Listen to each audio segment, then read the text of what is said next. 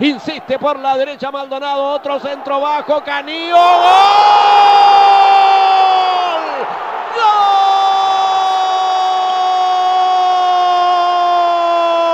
¡Gol! Antofagasta.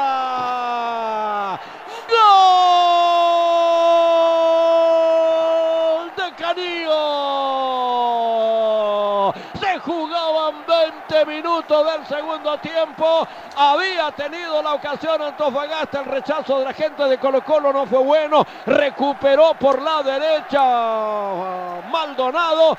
Tiro al centro, la pelota finalmente le llega a Canillo que tira de media vuelta cuando Elizondo no había podido y la pone arriba junto a la red lateral del segundo palo. Nada que hacer Villar que quedó mirándola nomás. Antofagasta 1, Colo Colo 0, 20 minutos, Cristian Canillo. Cuidado que va en salida, tiró el centro, saca, no, no puede Flores, sí aparece Delgado por la izquierda, tira centro bombeado, corre para la chilena, fue en salida, le dio pifiado, golazo de Vecchio.